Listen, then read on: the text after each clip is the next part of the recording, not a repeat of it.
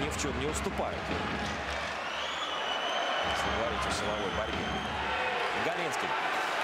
Подкатился сзади Кагарлицкий, шайбу отобрал. Сейчас отличная возможность у динамовцев выйти вперед, и они этим пользуются. И опять ведущее звено «Динамо» говорит свое веское слово. Кагарлицкий, Шипачев и Тарасов. Коллективный, можно сказать, э, гол сейчас организует ворота Доминика Фурка, естественно, расстроен. А, ну, не знаю, почуял что-то такое неладное Андрей Разин, когда решил взять э, тайм-аут, но в результате не сработало это. Здесь ошибается Дмитрий Мегалинский.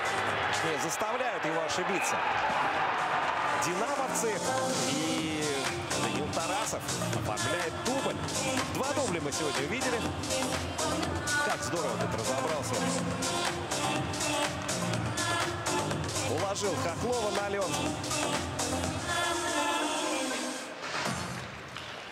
Задел Доминик э, Фурк шайбу, но